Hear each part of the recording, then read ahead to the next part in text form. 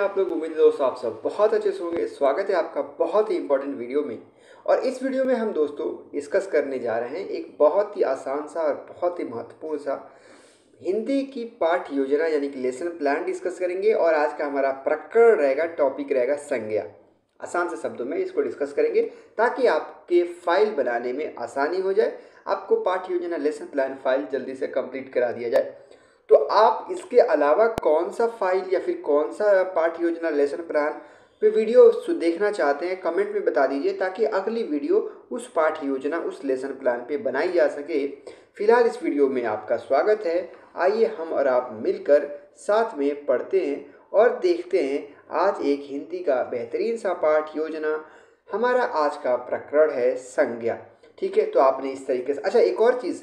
अगर आप हिंदी का या फिर किसी भी विषय का परीक्षा में कैसे लिखेंगे, आपको यहाँ से अंदाज़ा हो जाएगा, क्योंकि पेपर जो परीक्षा की कॉपी होती है, वो इसी प्रकार से होती है और परीक्षा में आपको इसी प्रकार से बच्चों लिखना है। तो चलिए, आज का हमारा प्रकरण क्या है बच्चों? संज्ञा। तो ठीक है बच्चों, आपने इस तरीके से चार्ट बना लेना है, ऊपर आपने दिनांक लिख लिया, कक्षा सातवीं का आप प्रकरण बना रहे हैं, हिंदी हिंदी व्याकरण है आपका विषय, प्रकरण आपका संज्ञा, चक्र आप प्रथम या द्वितीय डाल सकते हैं, अवधि तीस मिनट की। छात्राध्यापक का नाम, अगर आप बालिका हैं तो छात्राध्यापिका के नाम और विद्यालय का नाम। अगर आप परीक्षा में लिख रहे हैं तो आप यहाँ पे डॉट डॉट डॉट कर दीजिएगा। नाम लिखना बहुत सही नहीं है, लिख देते हैं तो कोई हर्ज की बात नहीं है। अब आइए, सबसे पहले हम शुरुआत करते हैं सामान्य उद्देश्य से। सामान्य उद्देश्य क्या होता है? सामान्य उद्देश्य सिंपल सी बात है कि जो विषय आप पढ़ा रहे हैं, उस विषय से उस बच्चे का क्या फ़ायदा होगा? का उसका उद्देश्य क्या है? तो छात्र को व्याकरण के नियम का ज्ञान करके उन, उनमें भाषा विकसित करने की क्षमता विकसित करना ये उद्देश्य है व्याकरण का। छात्रों में हिंदी भाषा को शुद्ध तरीके से बोलना, लिखना, पढ़ने की क्षमता का विकसित कराना, छात्रों को हिंदी भाषा के ध्वनि तत्वों का ज्ञान कराकर शुद्ध उच्चारण से वार्तालाप करना या उसका उपयोग करना। छात्रों को हिंदी भाषा को समझने का सुयोग्य बनाना, छात्रों को हिंदी वर्गों की छात्रों को हिंदी वर्गों की क्या? छात्रों को हिंदी वर्गों की उत्पत्ति एवं शब्दों की विविध रूपों से परिचित कराना ये सामान्य उद्देश्य है। और आप कोई भी व्याकरण का अगर प्रकरण बनाते हैं तो इसको आप सामान्य उद्देश्य में लिख सकते हैं। सामान्य उद्देश्य लगभग समान होता है। दूसरा आपका पॉइंट आता है बच्चों, विशिष्ट उद्देश्य। विशिष्ट उद्देश्य में जो प्रकरण आप पढ़ा रहे हैं, उस प्रकरण से बच्चे को क्या फ़ायदा होगा? तो तो पहला बोधात्मक मतलब बोध, उसको सॉरी पहला तो बोधात्मक नहीं, पहला ज्ञानात्मक। अर्थात बच्चे को उस प्रकरण से क्या ज्ञान होगा? तो छात्र को संज्ञा का ज्ञान हो जाएगा। तो पहला उद्देश्य छात्र को संज्ञा का ज्ञान कराना और छात्रों को संज्ञा को पहचानने का बोध कराना।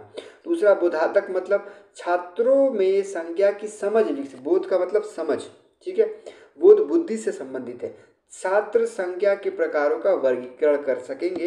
ये बुधात्मक उद्देश्य है। तीसरा दोस्तों, प्रयोगात्मक जीवन में कैसे अपनाएँगे उस प्रकरण को? तो पहला है छात्रों को सही उपयोग और सही चयन करने, करना हमारा पहला उद्देश्य है। छात्र संज्ञा के उदाहरणों को प्रयोग कर सकेंगे। ये हमारा हो गया प्रयोगात्मक उद्देश्य। यहाँ तक कुछ नहीं है। यहाँ तक बिल्कुल साधारण सी बात थी, जो कि आप स्वयं से अपने शब्दों में यहाँ पे कर सकते हैं। उसके बाद हमारा टॉपिक आता है बच्चों, सहायक सामग्री, कक्षा उपयोगी सहायक सामग्री, जो भी होते हैं क्लासरूम में, उसके साथ संज्ञा के प्रकारों के चार्ट ठीक है? संज्ञा के प्रकारों को दर्शाता हुआ चार्ट पेपर यहाँ पे रहेगा। अब आइए, अब हम आ जाते हैं उस पॉइंट पे जो कि सबसे इंटरेस्टिंग होता है, उससे पहले हमने पूर्व कथन कह दिया। पूर्व कथन में हम क्या कहते हैं कि छात्रों को आज व्याकरण की सॉरी पूर्व ज्ञान। छात्रों का पूर्व ज्ञान क्या है? तो छात्र आप अपना सामान्य जानकारी रखते हैं व्याकरण की। चलिए अब यहाँ से हमारा मेन शुरू होता है, जो कि प्रस्तावना प्रश्न बहुत इंटरेस्टिंग होता है। मैं जब भी कोई लेसन प्लान देखता हूँ तो मैं ये देखता हूँ कि प्रस्तावना प्रश्न कैसे कहा गया है, बच्चों से कैसे समझा गया तो पहले एक शिक्षक ने कहा कि शिक्षा हमें किससे प्राप्त होता है? मतलब हम हम कहाँ से शिक्षा प्राप्त कर सकते हैं? तो बच्चों ने छात्र क्रिया में जवाब दिया कि हम इस शिक्षक से प्राप्त करते हैं, पुस्तकों से प्राप्त करते हैं। अच्छी बात है। दूसरा आपने प्रश्न कहा कि शिक्षक हमें कहाँ मिलते हैं? शिक्षक हमें स्कूलों, कॉलेजों में मिलते हैं। अच्छा स्कूलों में हम किन किन चीज़ों से लिखते हैं? स्कूलों में हम पेन, पेंसिल आदि से लिखते हैं। अब शिक्षक कह रहा है कि शिक्षक एक व्यक्ति है, स्कूल एक स्थान है, पेन एक वस्तु है। तो हम इन आदि को बोध कराने वाले एक शब्द को बताइए, इस एक शब्द को क्या कहते हैं? तो बच्चे तो समस्यात्मक हो गई, मौन हो गए। तो मौन यानी कि समस्यात्मक प्रश्न हो गया। तो यहीं से हमारा उद्देश्य कथन आएगा छात्रों, आज हम व्याकरण में संज्ञा का अध्ययन करेंगे। किसका अध्ययन करेंगे? संज्ञा का अध्ययन करेंगे। अच्छा साथ ही साथ आपको ये भी प्रैक्टिस हो जाएगी। अगर आपको क्लासरूम में टीचिंग करना है तो इसी तरीके से करिएगा जैसे मैं कोशिश कर रहा हूँ। चलिए, अगला पॉइंट है, हमने यहाँ पे प्रस्तुतिकरण डाल दिया। प्रस्तुतिकरण में छात्राध्यापक के द्वारा संज्ञा तथा उनके प्रकार को चार्ट के माध्यम से प्रदर्शित करेंगे। ठीक है बच्चों? चलिए, हमने इस तरह से चार्ट बना लिया जहाँ पे पहला शिक्षण बिंदु, जो टॉपिक हमें पढ़ाना है छात्र अध्यापक या अगर आप अध्यापिका हैं तो छात्र अध्यापिका क्रिया छात्र क्रिया विधि और श्यामपट कार्य। ये हमारी चीज़ें हो गई, श्यामपट कार्य। ठीक है? चलिए तो पहला हम क्या पढ़ाएँगे बच्चों को? संज्ञा। अब संज्ञा के अर्थ के बारे में हमने बच्चों को बताया कि संज्ञा दो शब्दों से मिलकर बना है, सम प्लस ज्ञान और सम मतलब भली प्रकार और ज्ञान मतलब ज्ञान कराने वाला। अर्थात पूर्ण रूप से ज्ञान कराने वाले शब्द को संज्ञा कहते हैं। छात्र क्या करेंगे? ध्यानपूर्वक सुनेंगे। आपने व्याख्यान विधि का प्रयोग यहाँ पे किया और आपने ब्लैक बोर्ड पे ये लिखा। आप अगली बात परिभाषा लिखेंगे संज्ञा की। संज्ञा की परिभाषा लिखते हुए आपने बताया कि किसी भी व्यक्ति, वस्तु, स्थान, भाव को ज्ञा भाव का, स्थान का भाव को संज्ञा कहते हैं। यहाँ पे आप और अच्छी परिभाषा यहाँ पे लिख सकते हैं कि किसी भी व्यक्ति, वस्तु, स्थान का ज्ञान कराने वाले शब्द को संज्ञा कहते हैं। या फिर किसी व्यक्ति, वस्तु, स्थान के भाव को संज्ञा कहते हैं। आप अच्छा परिभाषा लिखिएगा कि किसी व्यक्ति, वस्तु, स्थान के ज्ञान कराने के लिए क्या कहते हैं? संज्ञा कहते हैं। जैसे अब इंग्लिश में कहते हैं the noun is the name of the person place और थिंग ठीक है? उसी प्रकार से नीचे आपने उदाहरण लिखिए जैसे राम, सीता, लखनऊ, दिल्ली, पेन, किताब आदि। छात्र क्या करेंगे? ध्यानपूर्वक सुनेंगे। यहाँ भी आपने किस चीज़ का प्रयोग किया? यहाँ भी आपने बेशक आपने व्याख्यान विधि का लेक्चर मेथड का यहाँ पे प्रयोग किया। ठीक है बच्चों? चलिए। नेक्स्ट देख लेते हैं। आप क्या करेंगे? नेक्स्ट संज्ञा के प्रकार के बारे में बच्चों को बताएँगे कि संज्ञा पाँच प्रकार के होते हैं। व्यक्तिवाचक संज्ञा, जातिवाचक संज्ञा, दिव्य दव्य सॉरी द्रव्यवाचक संज्ञा, समूहवाचक संज्ञा और भाववाचक संज्ञा, ठीक है? ओके यहाँ पे आप एक और चीज़ ऐड कर सकते हैं कि यहाँ पे एक यहाँ पे आप एक प्रश्न यहाँ पे पूछ सकते हैं। बच्चों को बुधात्मक प्रश्न कि संज्ञा किसे कहते हैं? तो बच्चे जवाब देंगे। यहाँ पे चाहे तो आप एक पॉइंट ऐड कर सकते हैं, मगर परीक्षा में समय की कीमत होती है तो आप ना भी ऐड करें तो कोई समस्या नहीं है। चलिए, संज्ञा के प्रकार में हमने बता दिया बच्चों को पाँच प्रकार के होते हैं। तो पहला वन बाई वन उसको एक्सप्लेन कर देंगे कि व्यक्तिवाचक संज्ञा किसे कहते हैं? जो शब्द किसी व्यक्ति, विशेष स्थान, वस्तु का बोध कराए, उसे व्यक्ति के वाचक संज्ञा कहते हैं। जैसे राम, गंगा, पटना आदि छात्र ध्यान पूर्वक सुनेंगे, व्याख्यान विधि है और आपने इस तरीके से ब्लैक बोर्ड पर लिख दिया।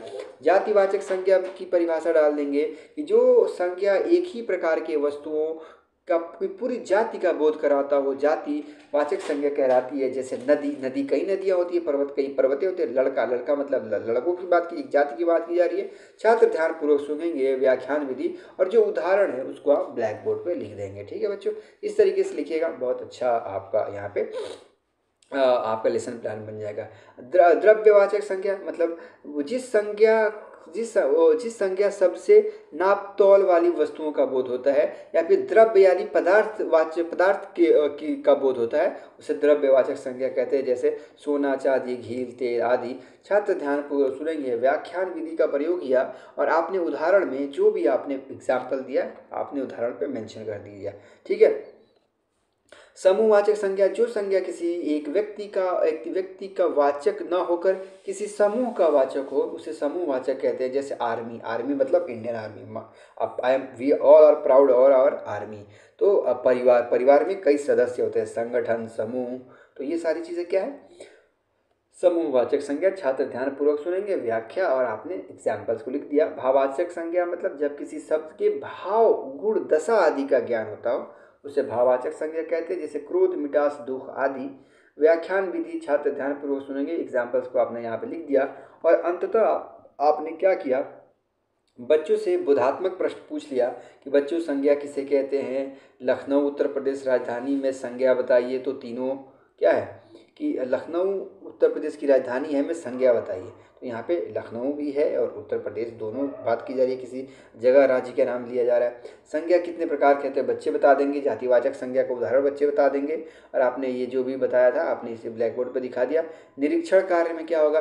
छात्र छात्राध्यापक द्वारा छात्रों को श्याम पट का सारांश अपनी पाठ्य पुस्तिका में उतारने के लिए कहा जाएगा और घूम घूम कर निरीक्षण किया जाएगा कि बच्चों ने उतारा कि नहीं उतारा। और पुनरावृत्ति एवं मूल्यांकन कार्य में आप बच्चों को क्या करेंगे? अध्या छात्राध्यापक अन्य उदाहरणों की मदद से छात्रों से प्रश्न पूछकर मूल्यांकन करेंगे। कि पढ़ाया हुआ प्रकरण छात्रों को भली बात समझ में आया कि नहीं आया? गृह कार्य दे देंगे कि सभी छात्र संज्ञा की परिभाषा तथा उनके प्रकारों के बारे में उदाहरण सहित लिख के लाएँगे। दोस्तों, इतनी आसान और इतनी सहल और इतनी सहज तरीके से ये पाठ्य योजना बनाया गया है। अगर आपने अब तक वीडियो देख लिया दोबारा आपको पाठ योजना देखने की ज़रूरत नहीं पड़ेगी। आप स्वयं से ही इस सारी चीज़ों को लिख सकते हैं। बहुत ही अच्छे तरीके से पाठ योजना बनाया गया है और मैं आशा करता हूँ, मेरे तरफ़ से प्रयास था कि मैं भी बहुत आसानी से आपको समझाने की कोशिश करूँ, ताकि आप आसानी से समझ के दोस्तों आप अपनी पाठ योजना को तैयार कर सकें। ठीक है बच्चों? तो इस तरीके से इस वीडियो को हम यहीं समाप्त करेंगे। आखिरी आपसे एक निवेदन है कि अगर आप ने इस वीडियो को ये वीडियो आपको पसंद आई हो तो कमेंट में अपनी राय ज़रूर दे दीजिएगा, वीडियो को लाइक कर दीजिएगा, और ये हमारा चैनल है, इस चैनल को सब्सक्राइब कर लीजिएगा। आगे किस विषय का आप पाठ्य योजना देखना चाहते हैं, आप बता दीजिएगा। उस पर ज़रूर आज पाठ्य योजना आपके लिए बनाने की प्रयास किया जाएगा। तो फ़िलहाल इस वीडियो में इतना ही दोस्तों। बहुत बहुत शुक्रिया। यह पाठ्य योजना आपको कैसी लगी? कमेंट में हमें ज़रूर बताएँ। जैके जय हिंद, जय भारत साथियों। मिलेंगे अगले पाठ्य योजना में जो आपका कमेंट रहेगा उस पाठ्य योजना में। सो जय हिंद, जय भारत साथियों।